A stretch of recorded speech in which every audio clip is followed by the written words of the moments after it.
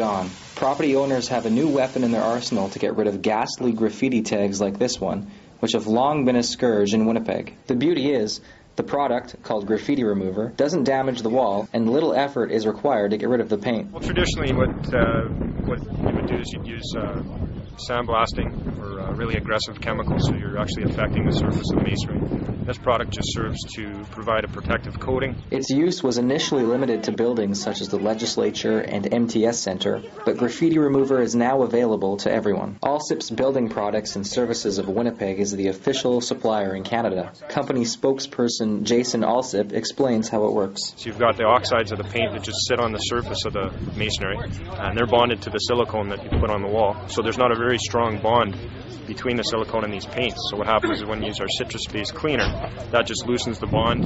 You hit it with a low-pressure wash, and uh, you're left with absolutely nothing on it. First, graffiti remover is sprayed onto a wall before any graffiti is present. It acts as a barrier. With it, removal is easy.